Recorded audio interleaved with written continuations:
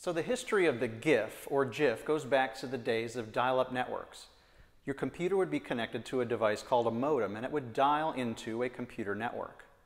One of the popular commercial networks in the mid-1980s was CompuServe.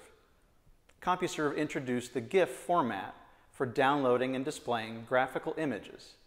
The images were generally small dimensions, and the 256 colors that were available was pretty far removed from a true photographic image. But it was all in an effort to shorten download time of these graphics. The original GIF, introduced in 1987, was known as 87A.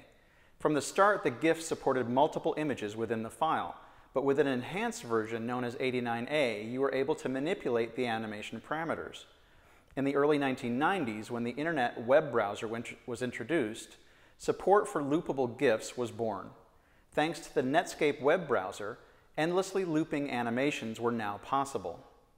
Early animated GIFs consisted mainly of practical visual indicators such as under construction signs for web pages and animated email buttons. However, as imaging technology became more sophisticated, more complex GIFs were born. In 1996-97, the most cultural, iconic animated GIF of the time was the dancing baby, also known as Baby Cha-Cha. The 3D rendered Baby Cha-Cha video was popularized by the TV show Ally McBeal. I can't stop this feeling deep inside of me. Girl, you just don't realize what you do The animated GIF version soon followed.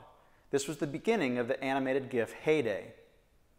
Interest in animated GIFs waxed and waned until a rebirth occurred in association with the website Tumblr because of its easy way of sharing images and eventual support for files greater than one megabyte.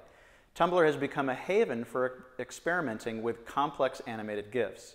A new class of GIF has come on the scene known as the cinemagraph and popularized by, among other Tumblr websites, If We Don't, Remember Me. So what's the key to a successful animated GIF? The key to an animated GIF is repetition. The key to an animated GIF is repetition. The key to an animated GIF is repetition. Oh, sorry. Anyway, it's taking the essence of a short moment of a video or film and looping that moment.